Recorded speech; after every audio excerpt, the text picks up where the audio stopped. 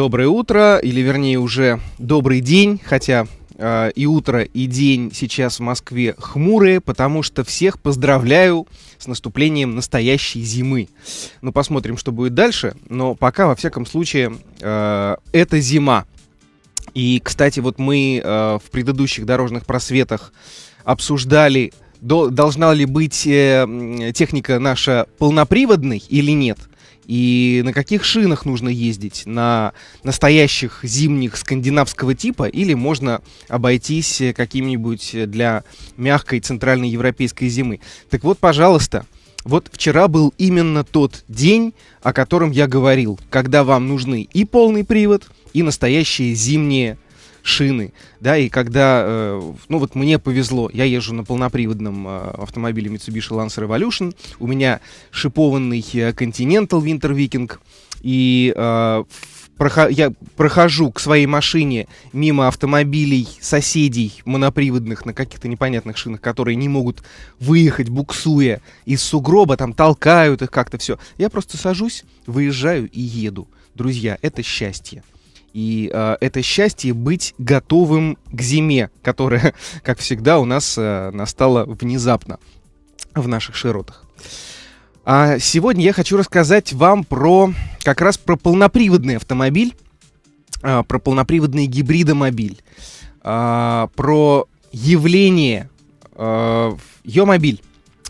Вы наверняка кто-нибудь э, про это слышал, да, кто-нибудь про это читал где-то около двух лет назад эта тема просто взорвала такую, да, э, российскую общественность. Михаил Прохоров, э, миллиардер, э, владелец холдинга «Анексим», собирается делать свой гибридный инновационный автомобиль с электрической трансмиссией. Мы совершенно тогда, мы, я имею в виду вот профессиональное сообщество, автожурналисты, конечно, мы просто онемели от удивления. Тем более, что не прошло еще удивление к тому времени от э, проекта Маруся Николая Фоменко. Вот, и тут еще ее мобиль, да еще и с таким названием. Uh, и я помню наше удивление, когда мы посетили огромный павильон, который был отстроен рядом с uh, холдингом Анексим на Тверской. Там выставлялись три прототипа. Кроссовер, э, такой городской хэтчбэк и э, грузовичок развозной. Uh, у них под капотом были uh, какие-то, значит, двигатели uh, Weber, но нам говорили, что это не так, что на самом деле под капотом серийных машин, которые появятся в 2012 году, а было это в 2000, э, конец 2010, начало 2011 года, то есть э, практически, ну, два года назад. И вот тогда нам обещали, что сейчас, вот сейчас они пойдут в производство, что э, под капотом этих машин будет э, роторно-лопастной двигатель внутреннего сгорания. Это типа вот э, роторно-поршневого, э, который был у э, Мазды и который там изобрел доктор Ванкель, немец, в 60-х годах. 50-х, а потом все от него отказались, потому что он э, все-таки сложнее, дороже, э, у него расход топлива там и так далее. Э, мало того, что будет этот роторно-лопастной фантастический совершенно двигатель у этого э, автомобиля, будет еще электрическая трансмиссия. То есть прямой механической связи между двигателем и колесами не будет. А э, мотор будет вращать генератор. Генератор будет питать электромоторы на передней и задней оси, то есть ее мобиль должен быть полноприводным. А в качестве буфера будут не аккумуляторы, как у всех э, гибридных э, машин э, в мире, а конденсаторы, которые очень быстро принимают заряд и быстро отдают, но позволяют запасти всего лишь электричество на несколько секунд. Никто такого, ничего подобного в мире не делает. И мы, конечно, все совершенно э, обалдели если можно так выразиться. И вот потянулось время. А, выяснилось сначала, что никакого роторно-лопастного двигателя быть не может.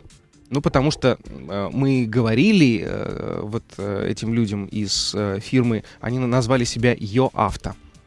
Мы говорили им, что, ну, друзья, ну это невозможно.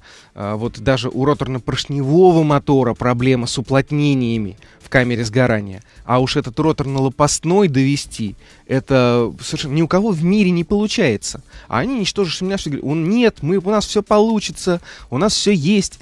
А, интересно, что при этом а, костяк этой фирмы, ее авто, а, составляют белорусы люди из Белоруссии. Э, есть такая фирма Яровит Моторс, которая в Санкт-Петербурге выпускает единицами, к сожалению, единицами буквально считанными грузовики собственного изготовления.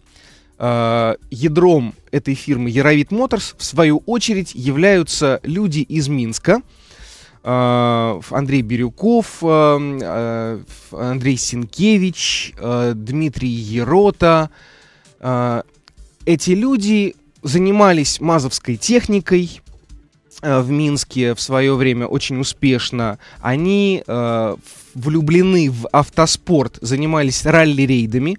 Была команда МАЗ Яровит. Это все еще в 90-х и там потом в начале 2000-х. Э, они строили э, гоночные прототипы и на них э, выступали. И потом вот, э, ну, какой-то у них еще, так сказать, несколько видов бизнеса успешных был, и деньги, э, полученные от этого бизнеса, они вкладывали в автоспорт и вот в эту фирму Яровит, которая э, пыталась и пытается выпускать грузовики. К сожалению, особо успешными их назвать на этом поприще нельзя, потому что, вот как я уже сказал, там в лучшие годы этих грузовиков Яровит выпускалось, ну, не больше десятка что, конечно же, сами понимаете, да? А, но, тем не менее, они заболели еще вдобавок к грузовикам и вот этой идеей инновационного городского автомобильчика. И, кстати, очень интересно, я вот э, тут выяснил, что э, автором идеи городского автомобиля был э, некий Юрий Шиф тоже э, белорус. Это чемпион 2010 года по кастомайзингу мотоциклов. Вообще в Беларуси, надо сказать, э, есть очень много креативных людей. Э, тот же, например, дизайнер Владимир Цеслер, который придумал, собственно говоря, бренд Йо для йо-мобильщиков. Да, совершенно потрясающий дядька. А, если не лень, зайдите на, наберите в гугле Владимир Цеслер – э, найдете его сайт, посмеетесь. Там очень много всего интересного. Вот. Э, дизайнер э, Андрей Трофимчук, который делает сейчас дизайн Йомобиля, тоже э, белорус и очень хороший, интересный дизайнер. Достаточно вспомнить хотя бы его, э, его прототип, его концепт-кар, который был выставлен во Франкфурте под э, брендом Йо, да, очень интересный, очень креативный. В общем, в Беларуси есть, есть э, интересные люди, и вот так получилось, что они все э, сконцентрировались, не все, конечно, да, э, многие сконцентрировались вокруг этого проекта. И вот мне удалось сейчас съездить туда, в Минск, посмотреть на все это своими глазами э, и даже поездить на ее мобиле. Вернее, конечно же, это еще не ее мобиль, это прототип, это мул так называемый, это агрегатоноситель. А, внешне это по Suzuki SX4, из которого удалили родной двигатель, коробку передач, а, приводы и поставили экспериментальные агрегаты, которые должны быть на а, ее мобиле. Вот, я посмотрел, э, где это дело разрабатывают, и оказалось действительно, что базой, где разрабатывается Йомобиль, является э, бывшая гоночная команда Яровит. Вот та, про которую я говорил, та, с, которую, с которой все у яровитовцев и началось, это буквально два ангара металлических, ангара в пригородах, э, в пригороде Минска, в селе, а ныне агрогородке под названием Колодищи. А, два ангара, половина арендуемого небольшого кирпичного здания, ну и еще несколько таких там а, гаражей или а, сооружений. Раньше там вот э, э, яровитовцы делали, э, готовили свои гоночные машины. Сейчас же никакой гоночной техники там уже нет.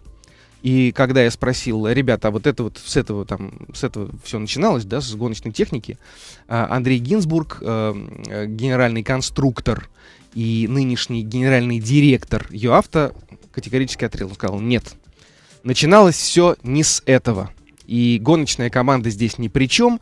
То есть они воспринимают себя сейчас как э, инжиниринговую фирму, в которой работает примерно 110 человек, и 55 из них инженеры. И, в общем, я очень скептически к этому относился, но увидел своими глазами, ребята действительно работают. Э, более того, да, вот уже построен даже агрегатоноситель. Продолжу сейчас после новостей на Финам FM. Я рассказываю про Йомобиль. Неуловимый, загадочный, э, долгожданный, э, собственно говоря, проект, в который э, мы уже давно, в котором мы давно уже разуверились. Потому что обещалось два года назад, что машины будут выпущены сейчас. Э, завод под Санкт-Петербургом построен, но там стоят только стены, ничего нет пока. А, и вот этой осенью генеральный директор э, ЙОАВТО Андрей Бирюков был отставлен от должности. Он остался в совете директоров, но он отставлен от должности, э, причем, как говорят, прямым распоряжением Михаила Прохорова, инвестора проекта. И генеральным директором новым стал э, Андрей Гинзбург, который был главным конструктором. И, собственно говоря, вот э, меня в Минске э, он и принимал, он и э, замдиректора по маркетингу Дмитрий Ерота, тоже один из отцов-основателей этого проекта. И они показывали э, все, рассказывали, с чего это началось. Э, вот что началось это все с идеи кастомайзера Юрия Шифа, потом э, Синкевич с Бирюковым, значит, зажглись этой идеей, начали ходить, предлагать ее. Кстати, они предлагали ее и э, в Минпромторг. Э, но э, Алексей Рахманов, э, который отвечает в, Минпро, в Минпромторге за автомобильную тему, им отказал, потому что совершенно резонно счел проект нереализуемым. Однако они э, зажгли Прохорова этой идеей. И Прохоров на совещании у самого Путина показал ему этот проект, и Путин одобрительно кивнул. Значит, то есть э, идея Юмобиля имеет, так сказать, э, высочайшее одобрение. Э, что интересно, в концепцию Юмобиля входит обязательным компонентом питание природным газом, сжатым метаном. И «Газпром» здесь э, подразумевается как один из э, будущих партнеров этого проекта.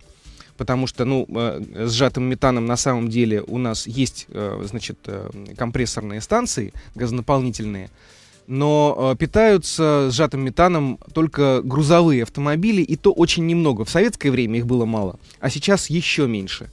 Но, тем не менее, вот, значит, считается, что э, питание автомобилей метаном это экологически такая тема э, важная, это альтернативное топливо.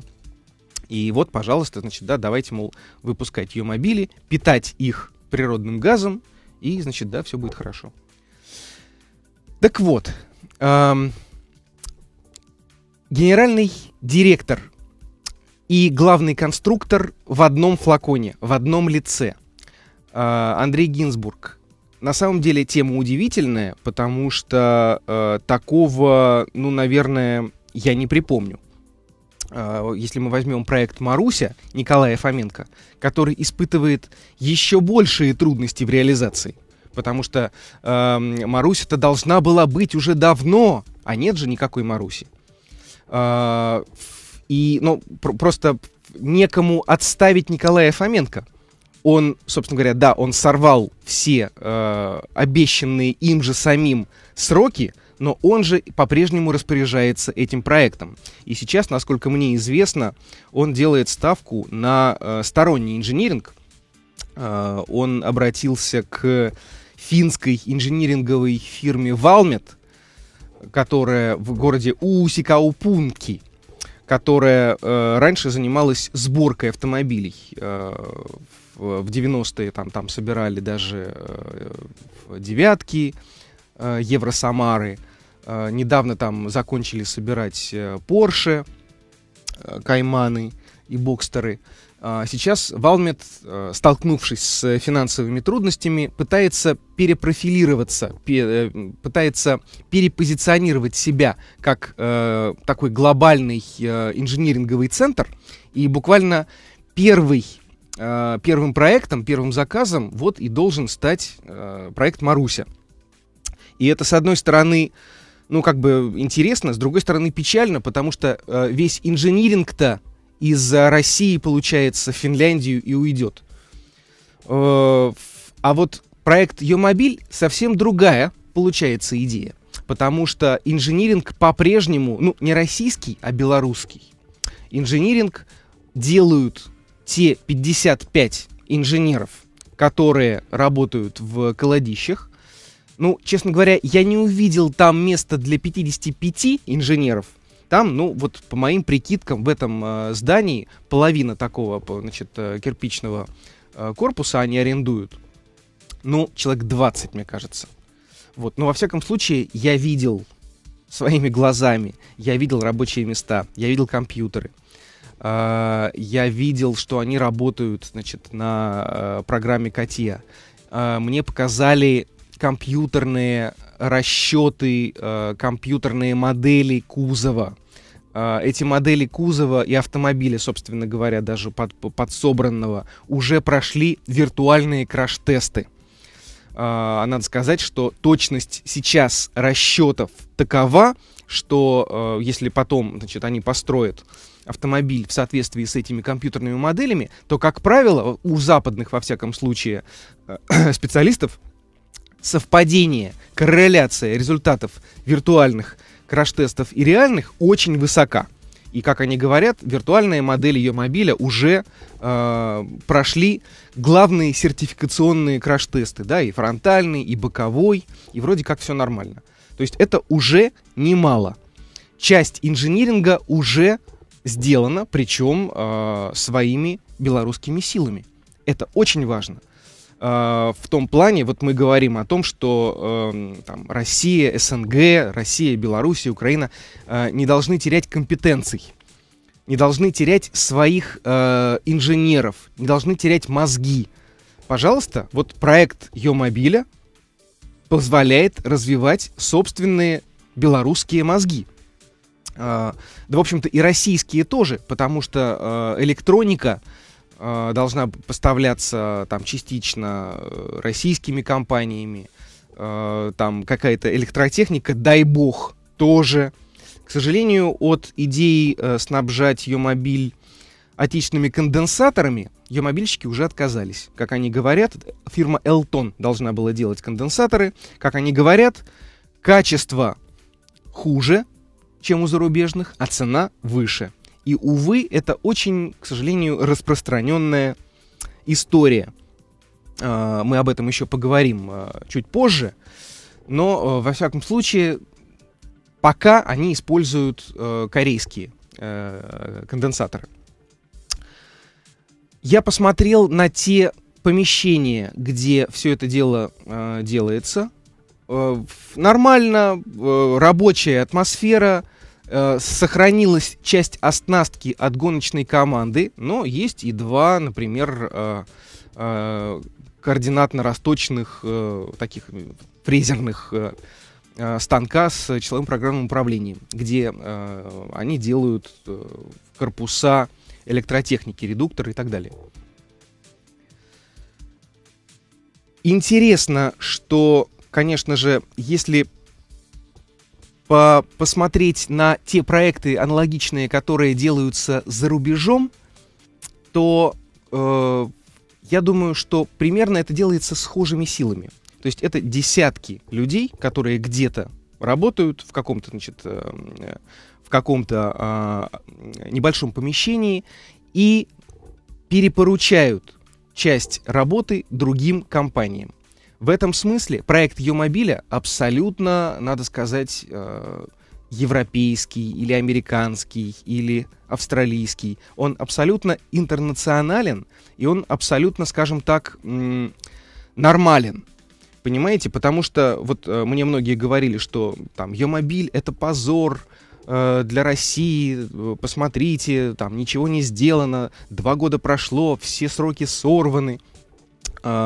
И вообще, как можно, как можно надеяться на то, что что-то будет э, сделано у нас, э, какие-то вот инновационный проект какими-то своими силами. И я говорил, что, друзья, даже если ничего в итоге не будет, то посмотрите, сколько таких проектов существует в той же Америке, в той же Австралии, в, там, в Германии. Очень много. Мы просто про них не знаем. А на самом деле масса э, компаний пытаются сделать и автомобили целиком, и довести какие-нибудь э, экзотические двигатели внутреннего сгорания с квадратными поршнями, там, да, с овальными поршнями, вообще без, э, без цилиндра поршневой группы, как вот какие-нибудь там роторно-лопастные э, темы. Такие инжиниринговые фирмы есть, такие изобретатели есть. Да, как правило, большинство из них прогорает. Но, тем не менее, они находят своих инвесторов. Э, инвесторы вкладывают деньги в работу инженеров, и э, число этих инженеров постоянно как-то, да, э, ну, или растет, или не сокращается. Это очень важно, когда мы говорим про те самые компетенции. Очень важно, как мне кажется, чтобы внутренние деньги российские или белорусские, или австралийские, или американские поддерживали не только тех, кто, грубо говоря, там торгует носками и нефтью, но и тех, кто думает, но и тех, кто пытается что-то создать, чтобы они поддерживали инжиниринг. И здесь э, это есть. Сейчас после э, очередного выпуска новостей мы пытаемся э, связаться по телефону с Андреем Гинзбургом, который теперь и генеральный директор и главный конструктор, и попробуем задать ему несколько вопросов, потому что вопросы все равно по-прежнему есть. Несмотря на то, что э, три прототипа Йомобиля построены и ездят, несмотря на то, что проект сохраняет финансирование, вопросов очень много. Uh, и вот интересно, как uh, Андрей будет uh, на них отвечать. Тем не менее, мне очень понравилось, что э, он, в отличие от Бирюкова, нормально разговаривает. Новости на Финам Пока мы не можем связаться с Андреем Гинзбургом, генеральным директором и главным конструктором ЙоАвто, расскажу про то, как это ездит. Нас привезли э, после того, как мы побывали в Колодищах э, в инженерном центре, если можно его так назвать ну, де-факто это есть, это так. А, нас привезли на а, государственный а, белорусский полигон, а, так называемый МАЗовский, в кавычках, потому что в основном там испытываются, конечно, тяжелая техника МАЗ. А, но вот сейчас там проходят испытания и три этих прототипа. И вот мы туда приехали, и подъезжает Suzuki SX4 обычный, но оклеенный э, какой-то, значит, э, каким-то камуфляжем. И я сажусь э, в, за руль. Тишина. Двигатель под капотом молчит. Я нажимаю на газ, и эта штука трогается с такой интенсивностью, ну вот прям как мой Evolution. Причем в полной тишине. Потому что это, э, можно сказать, что э, Йомобиль это электромобиль.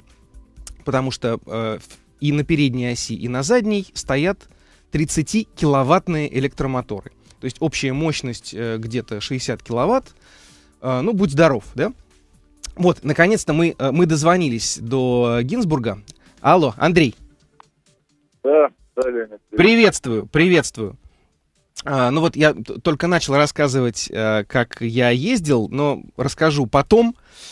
Вот, а, Андрей, а, вопрос а, самый главный.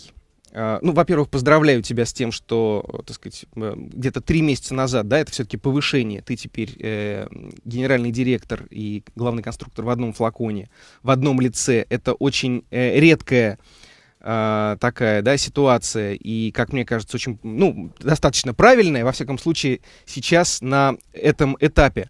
Э, скажи, ты э, планируешь, э, как долго ты планируешь оставаться генеральным директором? Ну, скажем так, какого-то конкретного срока не определено. Скажем, э, стоит задача запустить проект. Так. Задача, она совершенно конкретная, с конкретными сроками, которые на сегодняшний момент озвучены. И я думаю, что в течение этого срока, как минимум, я буду оставаться генеральным директором. Хотя, конечно, я больше склонен, конечно, к инженерной работе. Конечно, конечно. Скажи, пожалуйста, эм, сроки. Сроки, те, которые были нами озвучены, старт продаж отгрузки товарных автомобилей, это начало 2015 года, первый квартал, начало второго квартала как максимум. Угу, угу. Вот. Что касается презентации самих автомобилей, я думаю, что уже в следующем году мы начнем их показывать. Уже в следующем году? Да, мы начнем их показывать, начнем какую-то выставочную презентационную деятельность. Я, э, в сегодняшний вот... момент планируется в следующем году, в середине следующего года проведение э, мероприятия, на котором автомобили будут показаны общественности, в общем-то, журналистам, в виде, в котором мы планируем стать в серию. Уже с нормальными кузовами, да, серийными? Да, Именно так. Предсерийными. Скажи, пожалуйста, когда мы сидели вот у тебя в кабинете, там э, на э, стене висел, висела доска, и там было написано «Время Ч, 8 марта». Это я так... Ну, это наши внутренние процессы, да, это время окончания сборки и начала испытаний. То есть... Э, к... мы не показываем людям неиспытанные машины, это ну, просто неправильно. Естественно, естественно. К этому времени должны быть готовы э, первые прототипы, да, я так понимаю, уже вот с нормальными кузовами. Да, должна быть завершена сборка. А, скажи, пожалуйста, а, насколько вот а, в разговорах а, с вами я все-таки почувствовал, что полного понимания коммерческой стороны вопроса того, сколько будет стоить э, ее мобиль э, в, в 2015 году, э, против кого он будет, будет позиционироваться, как он будет продаваться, сколько будет дилеров там и так далее, я не почувствовал. Как мне кажется... Ну, на самом деле это понимание есть, позиционирование на рынке и с кем нам придется конкурировать. Есть понимание также и цены, Естественно, эта цена пока построена по принципу минимальный-максимальный диапазон. И на сегодняшний момент мы активно работаем для того, чтобы, естественно, эту цену приблизить к нижнему пределу. А, но, опять же, могу сказать, так как проекты такие никто не делал не только в России, но и в мире, то нет ту базы, по которой можно вот сказать, если традиционный производитель берет говорит, что вот у меня была модель, я выпускаю следующую модель, у меня есть база, старая модель, и все понятно, каждый болт сколько стоит, и я, соответственно, вношу изменения и почти точно понимаю, за сколько я могу продать этот автомобиль. Да, да, у да. нас, на самом деле, гораздо больше неопределенностей, связанных именно с процессом производства, а так как мы сейчас находимся активно на стадии подготовки к производству, в том числе и наших уникальных компонентов, которые никто не производит, и нам просто надо организовать со смежниками их поставки, то, соответственно, чем дальше мы идем по этому пути, тем более точно мы понимаем конечный результат. Хотя принципиально мы его понимаем уже сейчас, конечно. Это да, это, это понятно. Uh, скажи, пожалуйста, вот у вас там на задах uh, я заметил uh, французский микрокар, такую маленькую машинку, э, французской компании Microcar, да, Лежье, э, с алюминиевым пространственным кузовом, пластиковыми внешними панелями, с полулитровым дизелем. Э, вот, насколько я понимаю, именно на эту ролевую модель вы и рассчитываете. Да, то есть для вас вот э, да, они же тоже выпускают это достаточно э, небольшими э, объемами, тем не менее, они существуют и даже, так сказать, там, может быть, получают прибыль, я не в курсе. Нет, Леонид, на самом деле эта машина покупалась нами исключительно определенных технических решений и изучения. То есть мы не скрываем, что так же, как и все остальные нормальные производители, достаточно большое количество машин покупаем, чтобы разобрать. Uh-huh, вот. uh-huh. И эта машина, это одна из таких машин, которая исключительно с точки зрения инжиниринга изучалась. Брался бесценный опыт. Ну, хорошо. А тогда э, вот какой, если мы говорим про э, модель э, в компании, которая, да, полного цикла, начиная от R&D, от разработки и заканчивая продажами, на какую существующую мировую фирму вы ориентируетесь? Потому что э, ориентироваться на гигантов, которые там, как там Volkswagen, Mazda и так далее, да, которые миллионными тиражами выпускают автомобили, вы не можете. У вас заявленный максимум 40 тысяч. Конечно. Леонид, мы на самом деле не пытаемся скопировать эту модель. Мы очень внимательно изучили и продолжаем держать руку на пульсе того, что происходит в автомобильной индустрии, как кто работает, как кто организовывает, какие модели выходят, какие тренды. Так. Но мы, тем не менее, пытаемся все-таки строить собственную модель, исходя из особенностей, в том числе национального менталитета, исходя из особенностей, э, скажем, э, условий ведения бизнеса здесь. Э, например, мы прекрасно понимаем, что будучи небольшой компанией, мы не можем себе позволить иметь по 10-20 тысяч инженеров в R&D. Да. Соответственно, мы э, имеем костяк достаточно компактный, но тем не менее высококвалифицированный, и мы очень много работы раздаем, естественно, специализированным компаниям, которые выполняют свою часть очень эффективно, тогда, когда нам это нужно, и с минимальными, в принципе, для нас затратами, так как мы не несем постоянные затраты на содержание инженеров данного профиля сейчас компании. Ну, это общие... Тем не менее, да, да, ну, да. это на самом деле как раз то, что отличает не очень большие компании от больших. Большие в основном держат, в общем-то, собственный полный штат и привлекают сторонних подрядчиков, а просто полного штата не хватает. Мы же принципиально не держим полный штат. Это, в общем-то, коренное отличие. Но, тем не менее, э, вот я лично не знаю э, такой компании, которая выпускала бы небольшим тиражом в 10-20 тысяч машин автомобиль не премиум-класса и была бы прибыльной.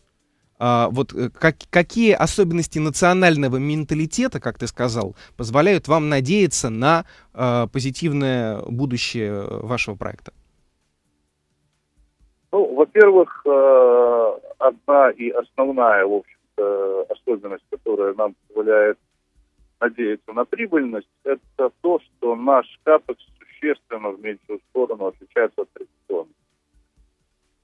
Это связано с тем, что в первую очередь у нас нет двух таких самых затратных э, частей производственных, таких как штамповка полного цикла с большим количеством деталей. У нас штампованных деталей меньше сотни угу. и мы их делаем на аутсорсинге, соответственно, мы несем затраты только на изготовление оснастки, угу. и эти затраты, они в разы меньше, чем на производство традиционного кузова. Угу.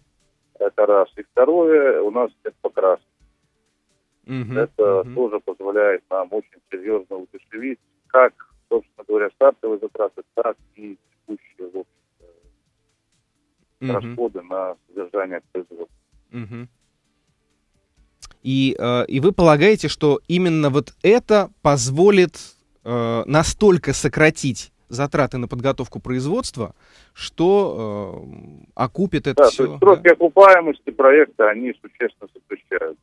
Угу, Скажем, угу. если для традиционного производителя жестких автомобилей необходимо построить завод, и, скорее всего, первое поколение выпускаемых на заводе автомобилей не окупает завод, да. То для нас, в принципе, это вполне реально, показывать наши финансовые модель.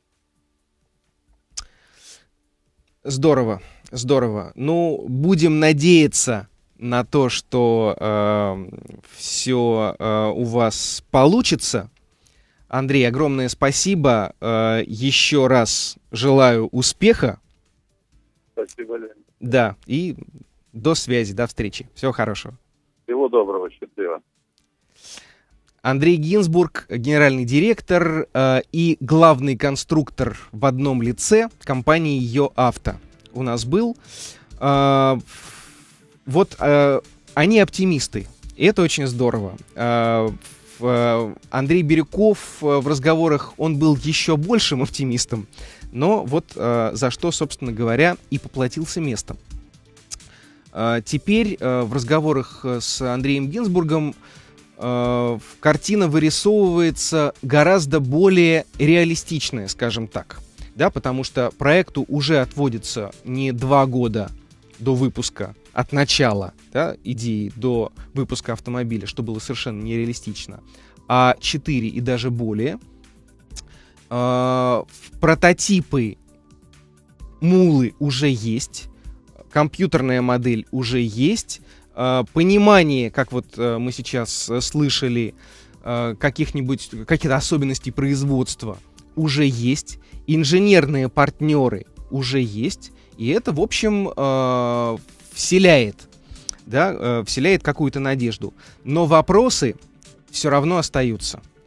И, конечно же, мы очень много это обсуждали и с Андреем, и с Бирюковым в свое время.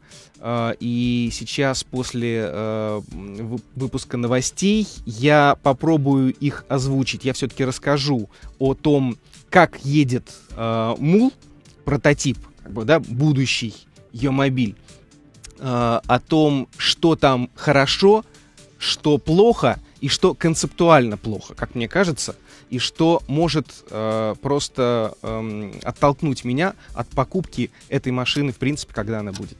А пока новости. Так вот, мулы Йомобиля существуют и ездят. Я на них ездил. Э, построено три машины. Внешне это Suzuki SX4. Внутри э, оригинальные компоненты. Два электромотора с э, редукторами под капотом некий бензиновый э, четырехцилиндровый мотор объемом 1,4 литра, мощностью примерно 75 лошадиных сил, сблокированный э, с генератором, и 70-килограммовая под полом батарея суперконденсаторов емкостью аж 7,5 фарад. Очень много, 110 ватт-часов всего она запасает. И этого хватает, вот если ты садишься, нажимаешь на газ, машина в полной тишине прямо рвет с места, прямо рвет. То есть э, evolution. Ну, потому что у электромоторов ведь, все вы знаете, вот э, как стартуют э, троллейбусы. Мощно стартуют с места, да? Потом э, начинают разгоняться все медленнее и медленнее, потому что у электромоторов характеристика такова, что максимальный крутящий момент они развивают прямо с нуля оборотов. Поэтому ее мобиль прямо рвет. Тем более полный привод где-то за 4 секунды с лишним эта штука набирает 50-60 км в час. То есть э, в городе она будет э, со светофоров стартовать круче, чуть ли не там, да, ну как вот как суперкар. Потом где-то спустя 4 секунды запас э, в конденсаторах э, энергии иссякает и запускается автоматически под капотом двигатель который с помощью генератора вращает уже, да, э, питает напрямую электромоторы. И поскольку, вот как я уже сейчас говорил, э, характеристика моментная спадает у электромоторов э, с ростом оборотов, то чем выше скорость, тем медленнее разгоняется эта штука. Э, этот мул, прототип ее мобиля где-то до 80 км в час, э, я вот э, там примерно замерял, это э, 8 секунд, до сотни это уже где-то 14 секунд, а выше 100 км в час, ну, буквально по, вот, по километру в час ты набираешь скорость. Ты едешь там, да, 105, 107, 111. Максимум, э, который мне удалось получить, это 119 км в час.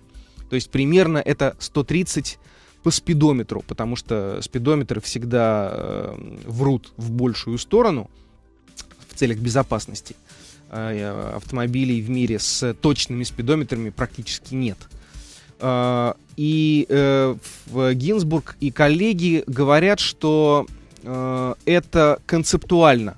Дескать, что они создают городской автомобиль гибридный, цель которого перемещаться с разрешенными в рамках правил дорожного движения скоростями, А у нас даже, собственно говоря, даже когда будет повышен порог на э, автострадах, это будет 130 км в час, а сейчас это вообще 110.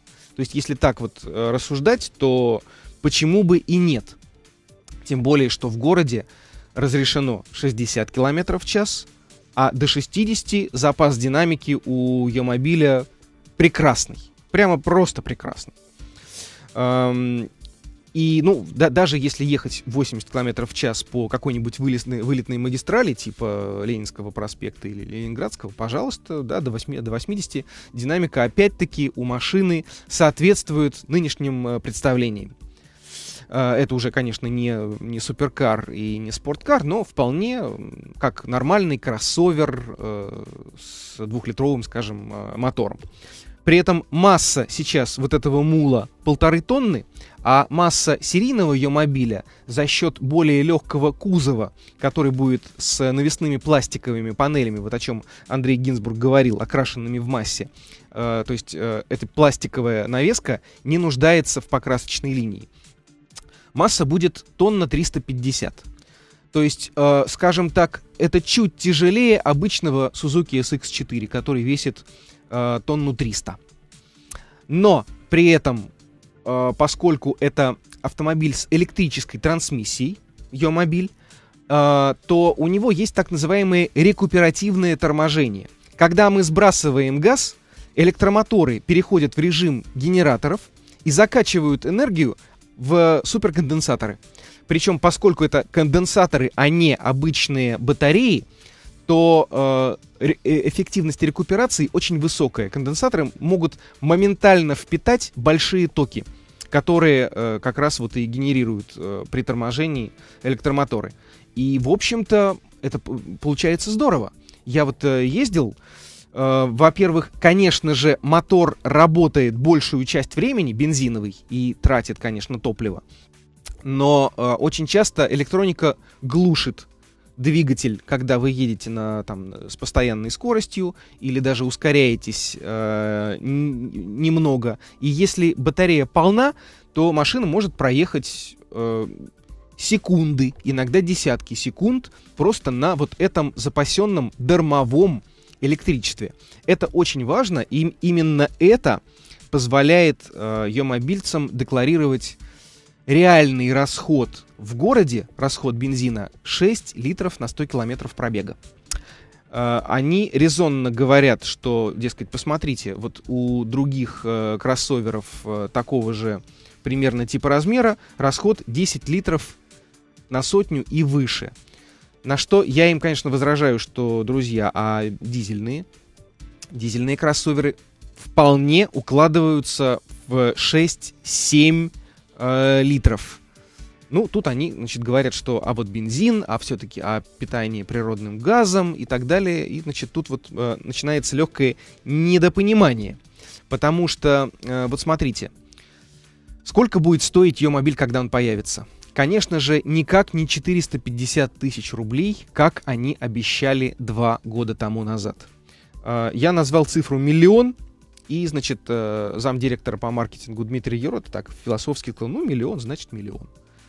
Ну вот представьте себе, э, вам нужно выбрать или купить, например, э, Саньон Коктион с дизельным двигателем, с полным приводом, с автоматической коробкой за миллион рублей, э, который разгоняется до 170 км в час, у которого совершенно нормальная динамика, у которого, так сказать, там расход ну, скажем, 8 литров, хорошо, да, 8 литров в среднем дистоплива он будет э, жрать.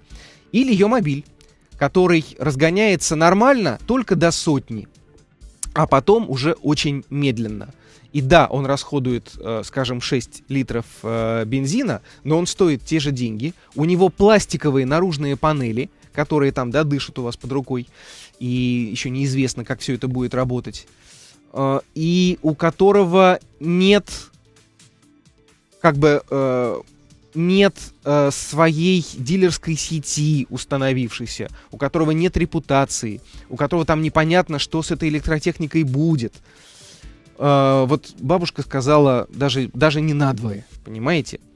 Э, Мне вот э, Гинзбург и э, э, его коллеги говорят, что э, интерес к этим машинам высок, и когда они появятся, их будут покупать только потому, что это инновационно, у меня большие сомнения. Потому что инновации это, конечно, здорово, но э, как только дело доходит до реальной покупки, мы с вами, конечно же, выбираем проверенные бренды. Да, почему, так сказать, э, Toyota так э, популярна? Потому что все знают, что Toyota это надежно. Э, почему сейчас корейцы так прут? Да? Потому что у людей из, там, из года в год вырабатывается представление о том, что если вы купили корейца, то у вас особых проблем не будет, у вас пятилетняя гарантия, э, да, там ничего ломаться не будет и так далее. В случае с гипотетическим пока да, вероятным Йомобилем все гораздо-гораздо сложнее. И, честно говоря, большие у меня до сих пор, конечно же, сомнения. Но э, теперь этих сомнений стало меньше, потому что проект развивается. Э, по словам Гинзбурга и его коллег, уже в проект вложено около 100 миллионов евро – Основные затраты, 70 э, примерно процентов, э, пришлись на строительство завода в промзоне Марина под Санкт-Петербургом, где пока стоят только голые стены. Там практически нету никакого оборудования, там буквально единицы. Э, собственно, на инжиниринг потрачено немного. Назывались цифры в 5 миллионов евро на собственную работу, но, так сказать, впереди гораздо больше затрат. И э, вряд ли, как мне кажется, проект уложится в те 250 миллионов евро, о которых э, сейчас э, говорят э, Гинзбург и Ерота. Но, ну, опять-таки, когда я спрашиваю, ребята, а вот если э, все это будет, э, цена будет расти и так далее, они говорят, ну, значит, будет расти. И это хорошо, потому что э, Прохоров будет платить за этот проект. И, соответственно, нас ждет впереди, э, я надеюсь, много интересного. Весной нам обещают э, ходовые уже предсерийные прототипы, э, серийные машины вот э, в конце 14-го, начале 15 -го года, что называется, будем посмотреть. Мне э, очень нравится эта история, потому что эта история, она наша. Э, потому что, вот как я говорил, все-таки она э, повышает наши внутренние компетенции. Э, так что я желаю успеха и ее мобильщикам, и, кстати, и в э, Николаю Фоменко с его Марусей. Э, я надеюсь, от них тоже появятся какие-то позитивные новости в ближайшее время. Вот. Если вам это интересно, то мы продолжим про это говорить. А следующий дорожный просвет, я полагаю, мы посвятим каким-нибудь пробкам э, парковкам и так далее. Спасибо, что слушали. С вами был Леонид Голованов, Дорожный просвет.